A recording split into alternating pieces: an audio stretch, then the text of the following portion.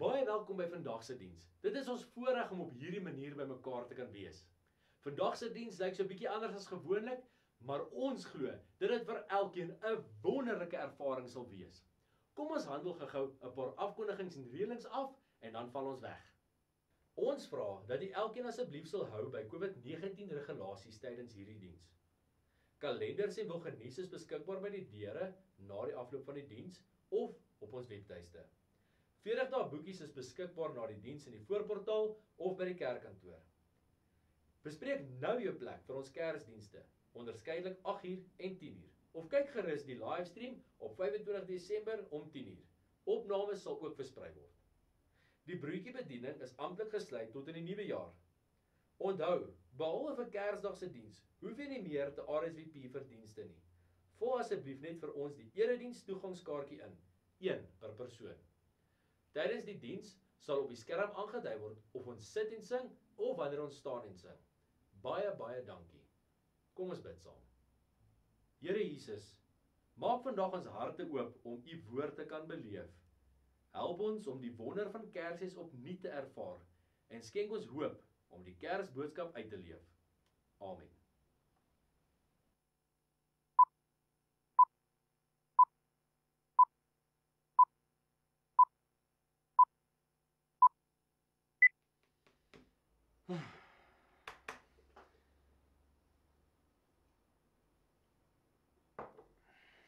Kersfees. 'n Storie van hoop. 'n Tyd van liefde. Hoe sal ek nou ooit hierdie preek geskryf kry? Ag, oh, toggie. Kom ons kyk bietjie hierso. Daar was Kaap wagters. Kersfees storie van hoop. Ag, ek sukkel so om hierdie preek te skryf. Dis asof ek net nog nie in die Kersgees is nie. Dis asof my brein vasgehaak het by Maart hierdie jaar. Ag, Kersfees se storie van Ag nee wat. Ek kan net sou maar oor begin. Hierdie hierdie gaan nie werk. Dominee Bram, hierso is vir jou 'n pakkie gekom. So ek hoop daar's 'n bietjie inspirasie in vir hierdie preek wat volg. Ja, dankie oom Nico, ek waardeer dit regtig ja, baie. Plesier. 'n Unieke Kersfees ervaring.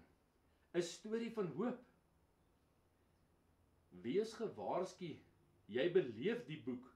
Jy lees dit nie net nie. Wat op die aarde is die?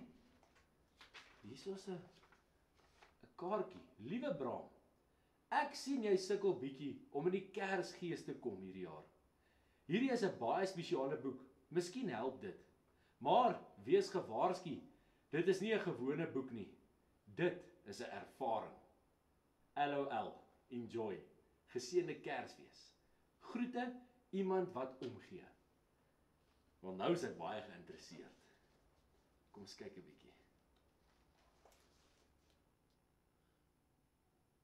Wow. Waar is ek? Sjoe. Kyk net hier. Jo. Jo, jo, jo, jo, jo. Gewonder hierdie boek kom met 'n waarskuwing nie. Maar weet julle wat? Ek dink hierdie boek gaan werk. Kom ons begin. Ja. Met Kersfees vier ons die geboorte van ons Here en Verlosser, Jesus Christus. Dit is 'n baie spesiale tyd van die jaar. Nie oor Kersbome en geskenke en feesetes nie, maar omdat ons herinner word aan God se onvoorwaardelike en nimmer eindigende liefde vir ons. God het ons so liefgehad dat hy bereid was om sy enigste seun op te offer om te verseker dat ons die ewigheid saam met hom in die hemel kan deurbring. Kom ons gebruik die Kerstyd om hierdie inspirerende boodskap van liefde oor te dra aan almal om ons sodat hulle ook kan deel in die vreugde van 'n lewe wat aan God oorgegee is.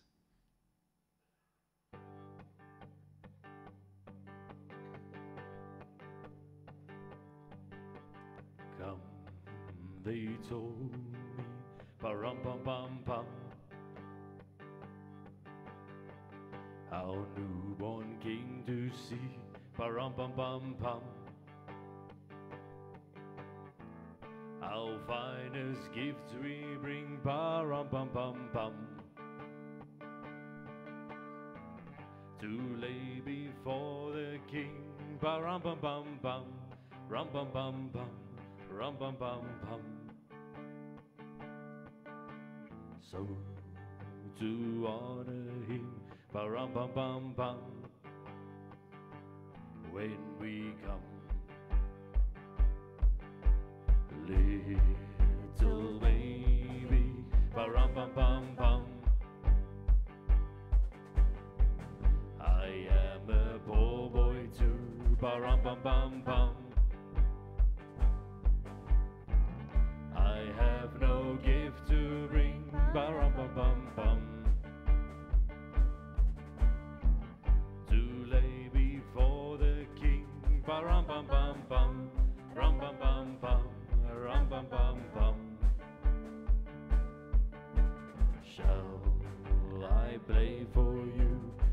bum bum bum. Oh my drum.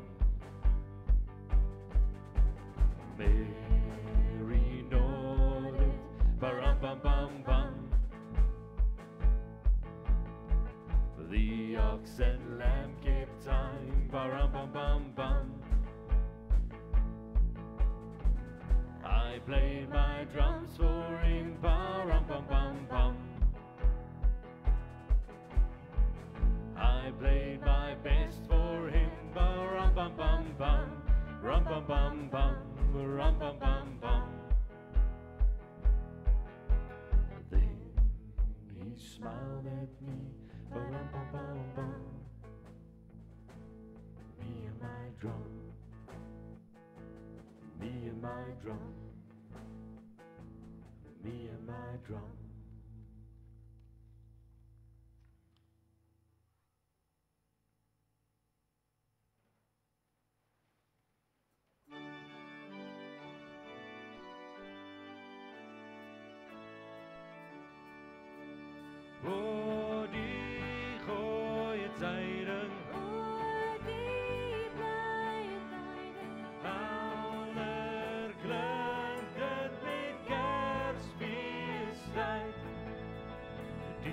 Was ons verloren.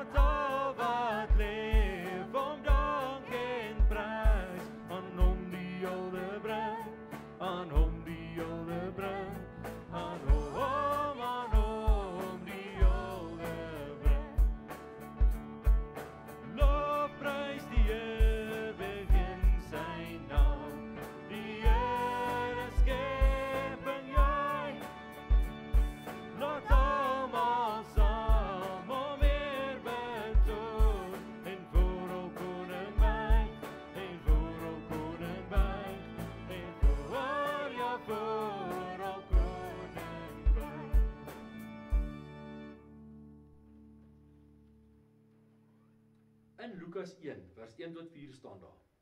Beste Theophilus, baie mense het al boeke geskryf oor wat Jesus gedoen het. Hulle het die woorde van die disippels neergeskryf wat van die begin af saam met Jesus was. Ek het ook besluit om aan jou te skryf. Ek wil stap vir stap vir jou vertel wat Jesus alles gedoen het. Ek het seker gemaak dat wat ek skryf die waarheid is. As jy my verhaal oor Jesus lees, sal jy sien dat alles wat jy oor hom gehoor het, die waarheid is. Deur al die eeue,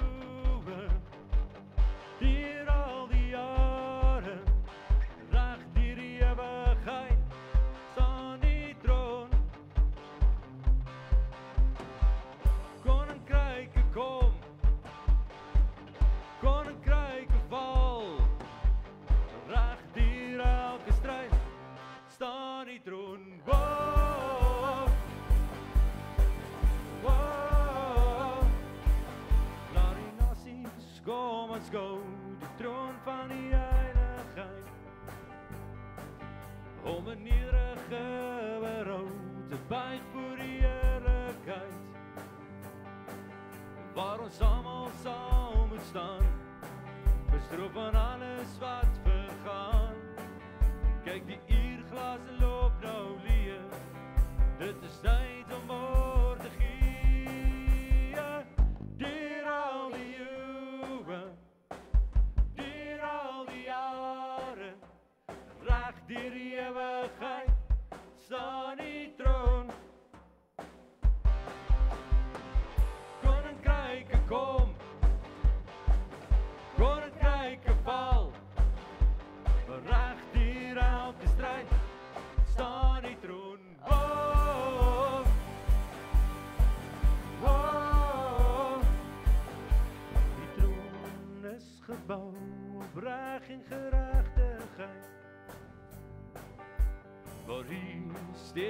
getrou regeer in die majesteit.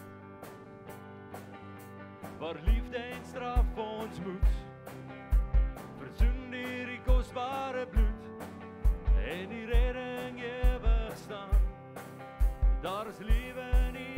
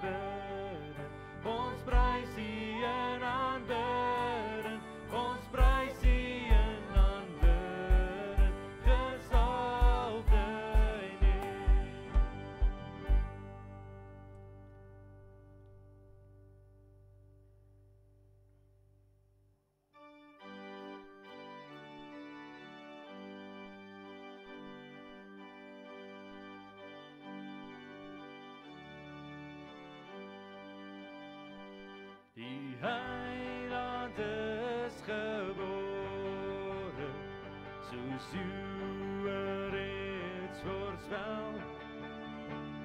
Daar in die stad van David word hy Immanuel met blye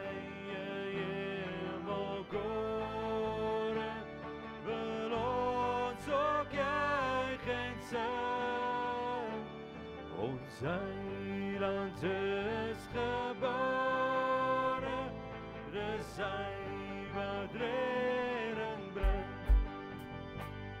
Die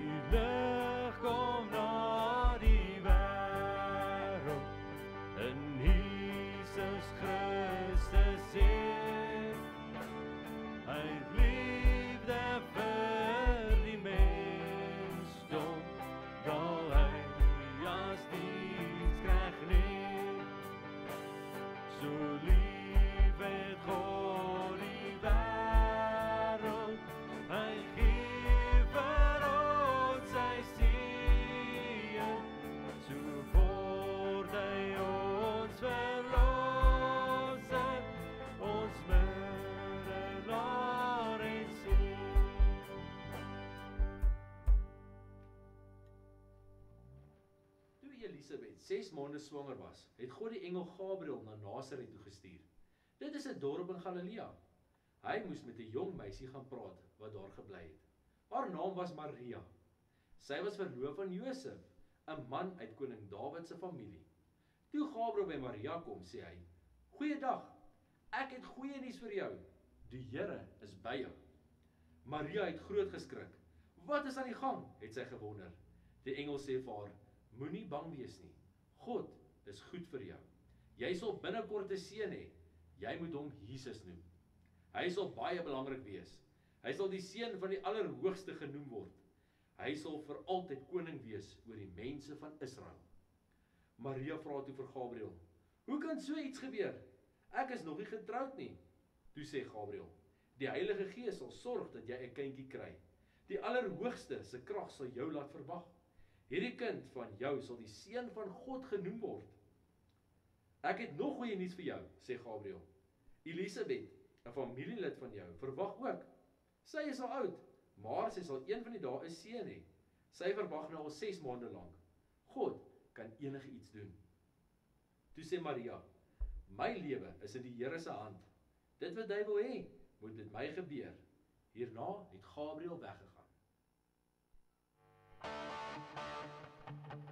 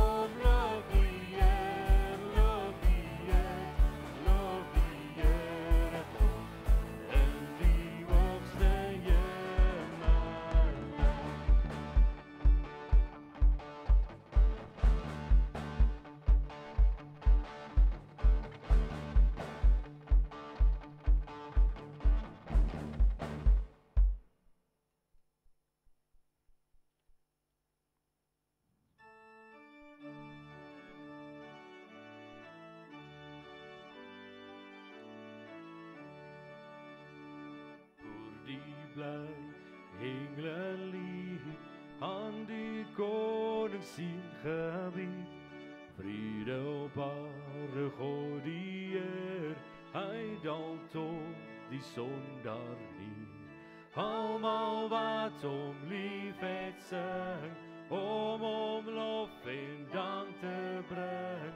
Allemaal juich met hart en stem, God wordt mensen bid lief. Word die blije engelen lief. Aan die koning sien gebied. Christus ewe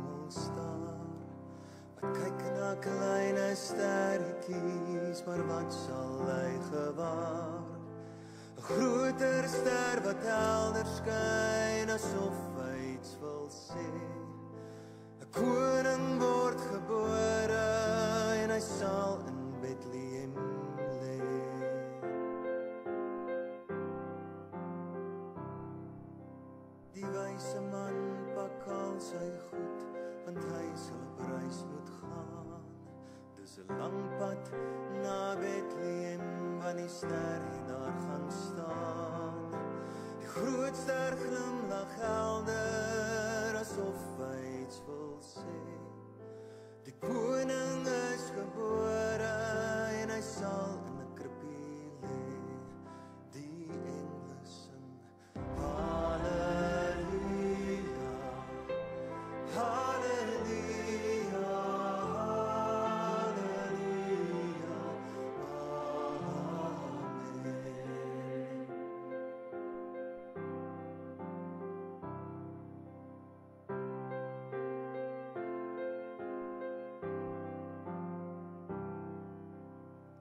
Wyse man se reis is oor.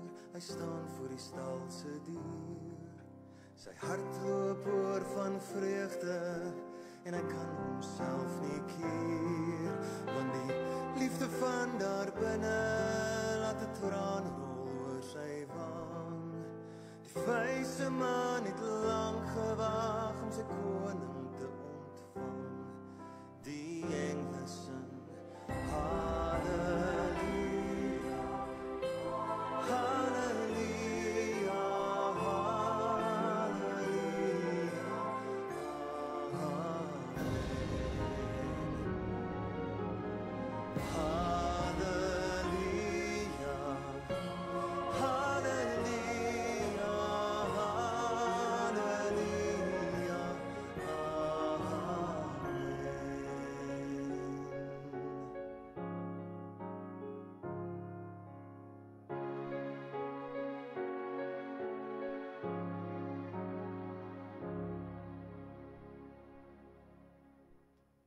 Sjoe, julle, hierdie is darm die coolste boek wat ek nog ooit gelees het.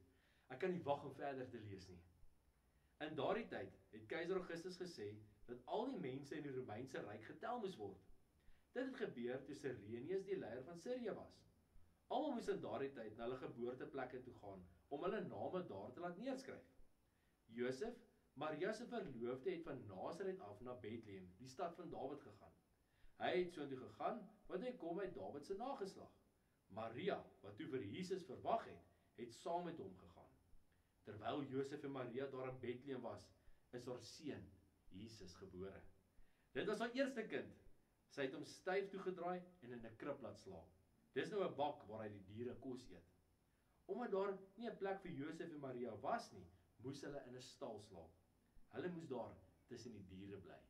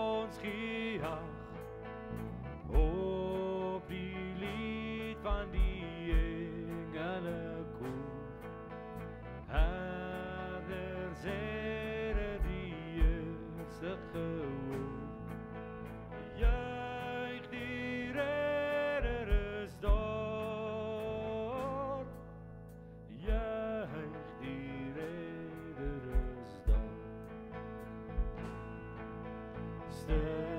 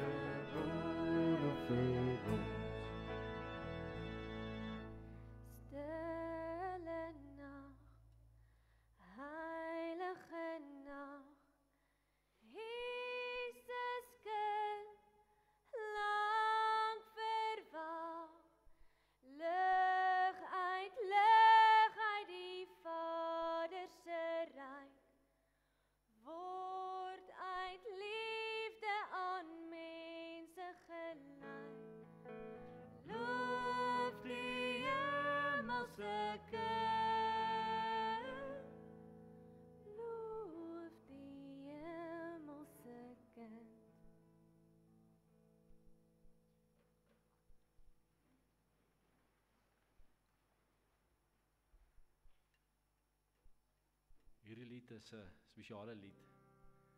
En dit gaan daaroor om te sê, is kort ons almal nie dalk 'n bietjie nuwe wyn ook hier aan die einde van die jaar, so woeste jaar nie. Jy kan saam sing, jy kan dit saam bid of jy kan dit net saam beleef.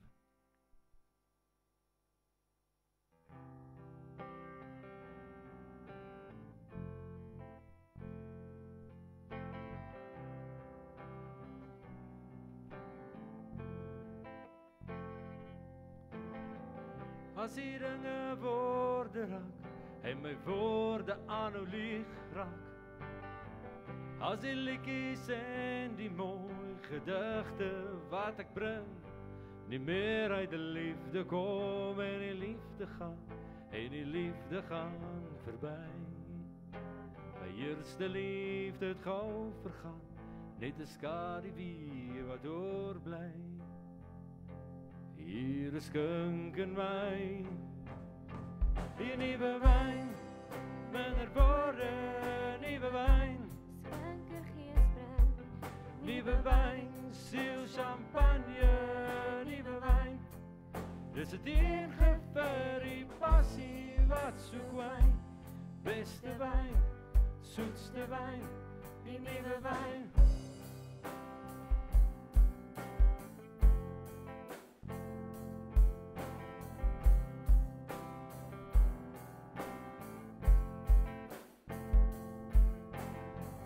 As my siel van droogte krak en die water nie meer werk nie. As die lood die wingerdstok se sap nie meer kan proe nie.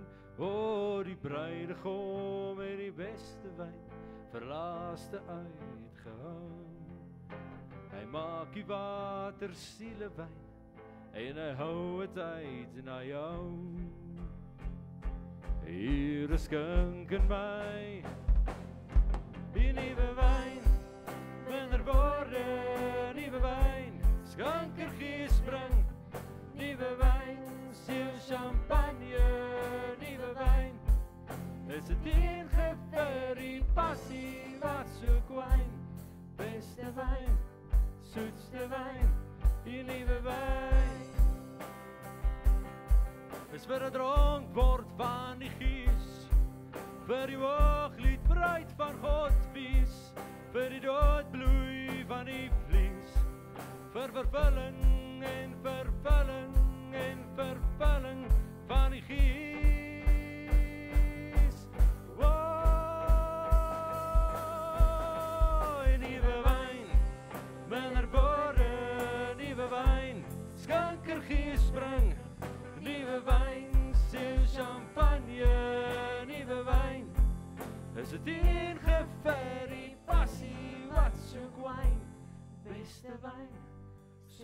divine.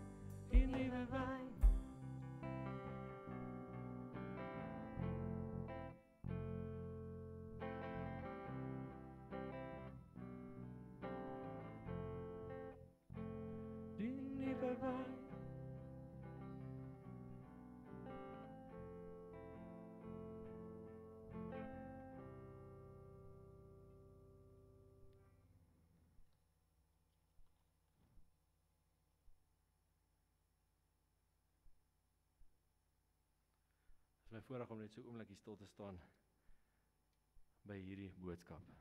'n Kersfees vol hoop.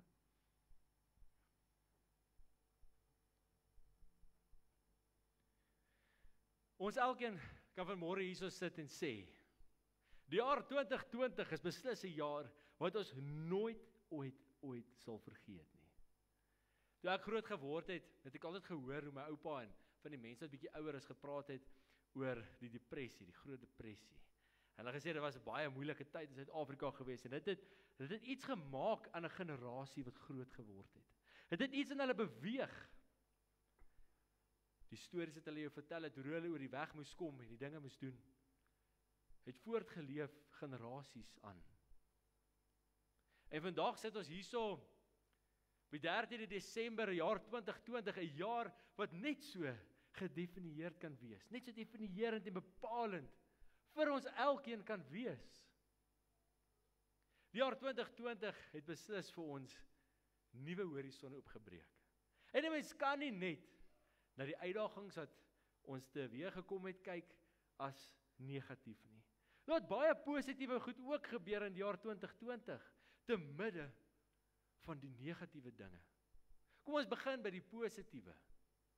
Ons het baie dinge gekry waarvoor ons gehoop het.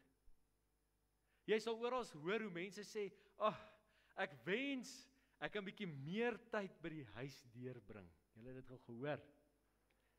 Julle het gehoor hoe huweliksmaat sê, "Man, ek wens ek was minder by die werk en meer by jou gewees, my liefie." Dit het gebeur. Kinders het elke oggend wakker geword veral in die winter en sê, "Ag, moet ek nou na skool toe gaan?" En dan met 'n gesleep en 'n getrek het jy uit die bed uit. En dan gaan hulle skool toe en hulle het gehoop en gewens hulle hoef nie nou skool toe te gaan vandag nie. Hulle het dit ook gekry.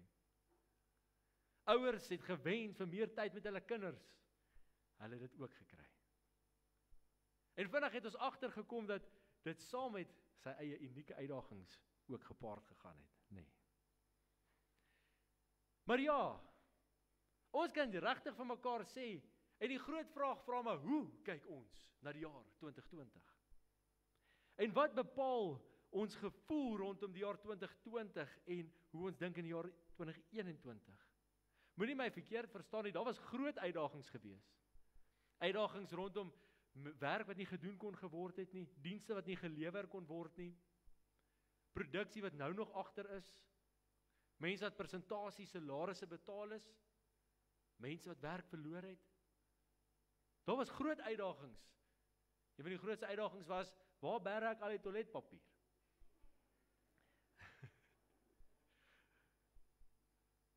maar te midde van hierdie uitdagings was daar ook oomblikke van vreugde. En daarom sit ons ver oggend op 'n unieke plek, nê. Nee. Want ons is aan die een kant negatief vir die jaar en onder die, al die uitdagings wat op ons tafel geland het. En aan die ander kant het ons 'n klomp dinge gekry wat ons voor gehoop het. En dit kan ons nie anders as om 'n bietjie positief te maak nie, nê. Nee. Maar ek dink die draaipunt vir ons het gekom die dag toe ons besef hierdie ding gaan nie oor 3 weke oorwaai nie.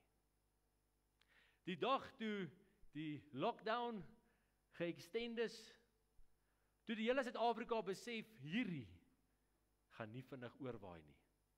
En ek dink op daai oomblik het frustrasies van ontmagtiging, frustrasies met die lewe, frustrasies met waar ons is, frustrasies met om in 'n ry te staan by die checkers, ons almal in ons almal opgeborrel.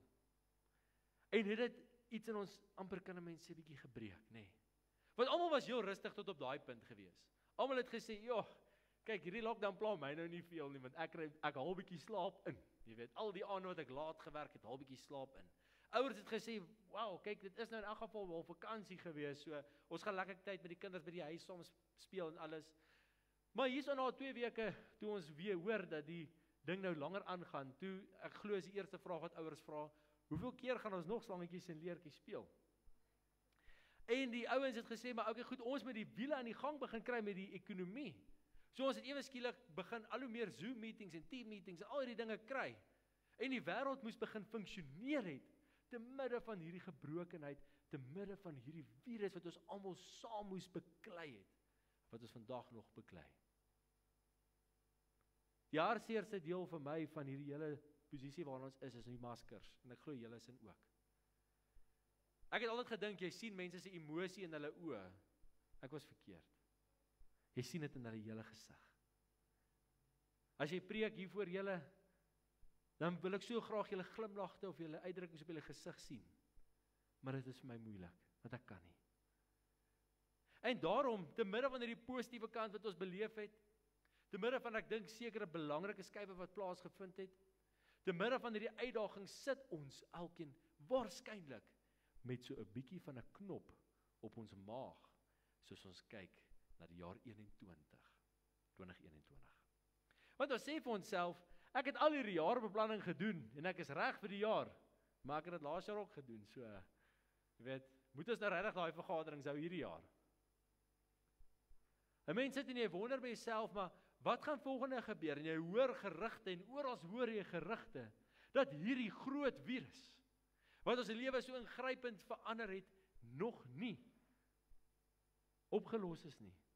En dat ons waarskynlik weer met sekere dinge in ons in ons midde gaan wees. Dan borrel hierdie angstigheid op en hierdie knop word al hoe stywer. En weet julle wat gebeur en wat's my grootste vrees? My grootste vrees is dat hierdie knop op ons maag. Kom ons noem dit die bekommernis oor môre. Die bekommernis oor die onbekende. Die frustrasie met die bekende en die trauma van die verlede, hierdie knop op ons maag verhoed ons om so 'n bietjie Kersfees te voel. So 'n bietjie in die Kersgees te kom. Hy het vir mense gesê, dit voel nog vir my of ek op by Maart is.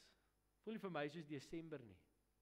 En vroeër in hierdie video het julle daar in my kantoor my gesien voor ek die boek begin lees het. Waar ek sê maar ek kom net nie daar nie. En ek weet nie of julle ook so worstel soos ek nie. Maar ek kom nog net nie daar nie. Wel ek het nie tot ek gewerk het aan hierdie preek. En daarom sê ek vandag vir julle Kersfees is 'n fees vol hoop. Die rede hoekom ons Kersfees vier is nie om te rus iewers op 'n strand of iewers 'n uh, persentjie onder 'n boom te sit of om net lekker Kersliedjies saam te sing nie. Die rede hoekom ons Kersfees vier is omdat die hoop vir die mensdom, die hoop vir die wêreld aarde toe gekom het. Die hoop wat alles sou verander het Niks sou ooit weer dieselfde wees na Jesus nie. Die hoop vir die mensdom het gekom. En as ons vanmôre een plek wil hê wat ons kan regkry vir die jaar 2021, is dit juis Kersfees. Maar is dit ons verantwoordelikheid om bietjie anders daarna te kyk? Om te sê ons gaan nie net na Kersfees kyk as 'n lekker tyd met lekker etes en lekker presente en dis sommer net 'n bietjie rustigheid en afskakeling nie. Wat ons sê juis hierdie Kersfees gaan ons halftyd praatjie wees. Julle ken 'n halftyd praatjie. As jy ooit in 'n spansport was. When the odds are stacked against you. Jy's 50-0 agter. Jy stap daar in die in die badkamer in of jy staan langs die veld en die afrigter sê vir jou Moenie moed opgee nie. Bly hoop. Bly vertrou. Glo in jou vermoëns en jy kan dit doen. Die uitdaging is groot, maar ek glo in jou vermoë. Wat gebeur met jou? Jy word gevul met 'n bepaalde emosie. Jy word gevul met hoop. Want hoop is baie kragtig. Hoop gee vir jou moed in moedelose omstandighede. Moed uh, hoop gee vir jou uitkoms in omstandighede wat jou totaal oorweldig. Hoop laat jou aanhou al wil jou bene stop. En daarom sê ek hierdie is ons halftyd praatjie hierdie jaar. Want die boodskap van Kersfees is daar juis om ons hoop te gee. Een van die sterkste emosies wat jy ooit kan hê. Ons kan hoop hê vir die jaar 2021. Hoekom? Want Jesus is daar. Jesus sê vir ons reguit in een van sy gelykenisse: Bou jou huis op 'n stewige stewige fondasie. Bou jou huis op die rots dat as die storms van die lewe kom, jou huisie sal bly staan. Wie's ons rots? Jesus. As ons ons lewe op Jesus bou, as ons vertroue en hoop op Jesus plaas, sal ons hoop nie beskaam word nie. En daarom is hierdie jaar se Kersfees eintlik meer besonders vir ons elkeen. Dalk sukkel ons 'n bietjie om in die gees te kom, maar ek hoop vir môre kyk jy so 'n bietjie anderster. En sê maar in hierdie Kersfees word ons teruggebring na die essensie toe van Kersfees in die binnekant, die wese van Kersfees. 'n Fees van hoop. Die hoop van die mensdom is gebore in hierdie wêreld. In moeilike omstandighede, in 'n gebroke samelewing met gebroke mense. Die hoop van die mensdom het hoop gebring vir die gemarginaliseerdes, vir die siekes, die lammes, die melaatses, die uitgeworpenes, die mense aan die rand van die samelewing. Vir daai mense het Jesus kom hoop bring.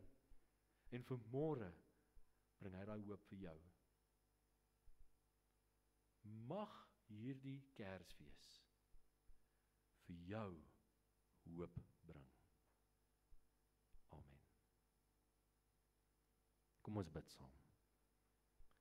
Here Jesus, dankie dat ons vanmôre in hoop kan wees. Dankie dat ons kan hoop hê in omstandighede wat dalk vir ons miskien so 'n bietjie hopeloos lyk. Oorweldigende omstandighede. Waar ons 'n vyand moet stry wat ons nie kan sien nie. Here, waar daar sekere seer is in ons lewens na hierdie jaar en waar ons met angstigheid kyk na die jaar 2021. Here, gebruik hierdie Kersfeestyd hierdie jaar en help ons om oor hierdie gevoelens te oorbrug dat ons die jaar 2021 met volle vaart, met volle glorie kan ontvang.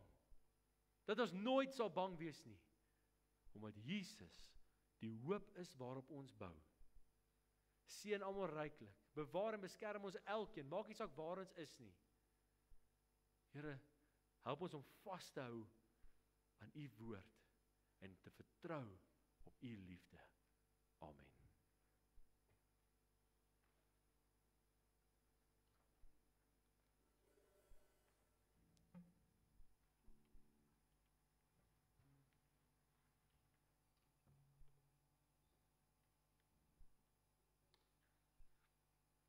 Is ook so effens 'n anderse Onse Vader. Jy kan dit in die hart saam sing, jy kan saam sing of jy kan uit volle borsheid ook saam sing.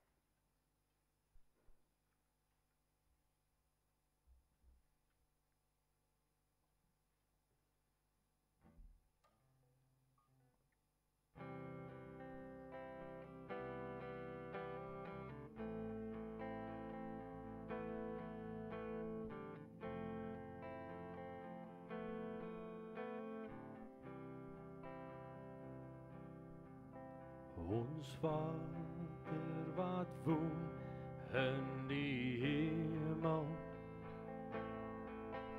Geheilig sy groot naam. Laat hier hy kom hy wil geskied. Soos in die hemel so ook vandag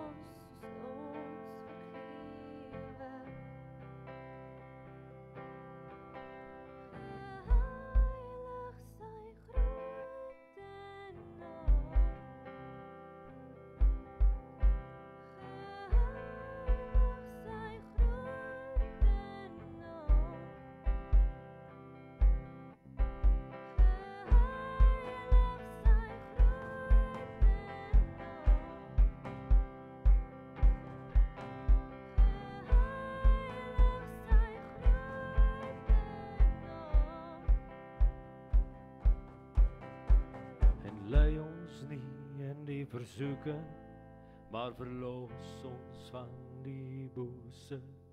Want aan U behoort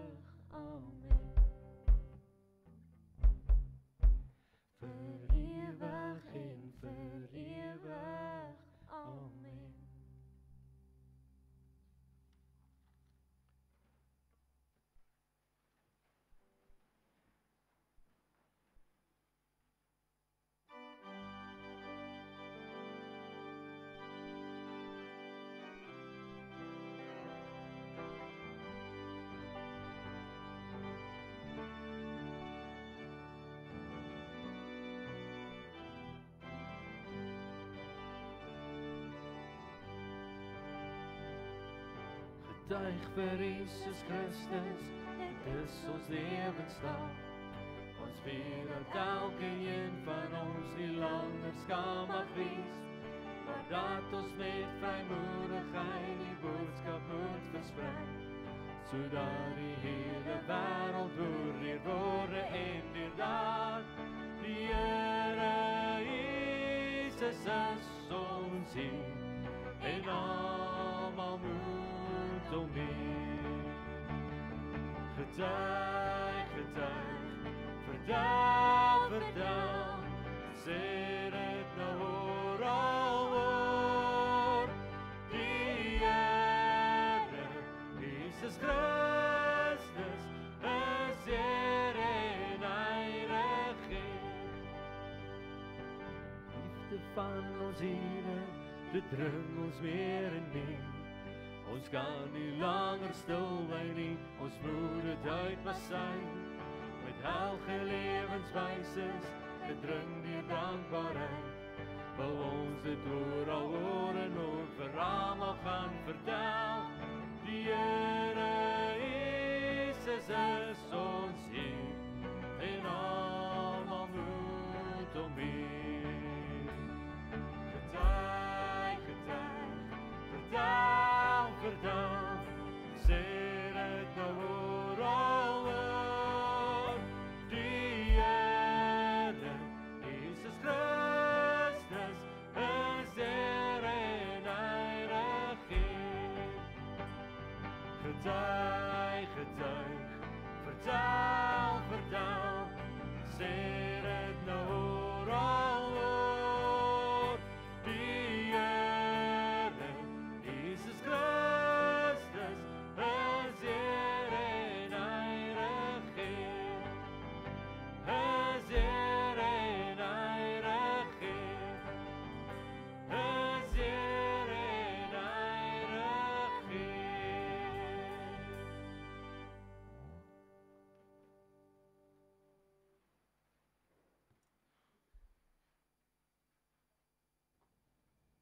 Mag jy hierdie Kersfeestyd, die tyd van soveel vreugde en pragt, die seën beleef wat alle dinge oortref. Mag jy geraak word deur meer as wat jy oë gaan skou, meer as wat jy oor kan hoor en veel meer as wat die wêreld ooit kan bied. Mag jy ware hoop ontdek, volmaakte vrede ervaar en ewigdurende liefde beleef, wat jou in dankbaarheid laat draai na die in lyding, eensaamheid en pyn. Uitgehonger vir 'n sagte hart. Mag jy die seën word wat God graag aan ander wil uitdeel. Ai julle, ek kan nie glo ek het nou aan die einde van my boek gekom nie. What a journey, nê? Nee, Ek hoop julle het dit net so baie soos ek geniet. Kom ek lees gou die laaste gedeelte saam met julle. God wat vrede gee, sal by julle wees. Die vrede van God wat alle verstand te bowe gaan, sal oor julle harte en gedagtes die wag hou in Christus Jesus. Amen. Geseënde Kersfees en 'n voorspoedige nuwe jaar vir julle elkeen.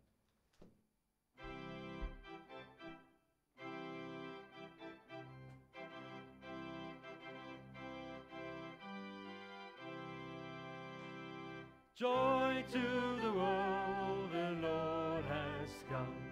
Let earth receive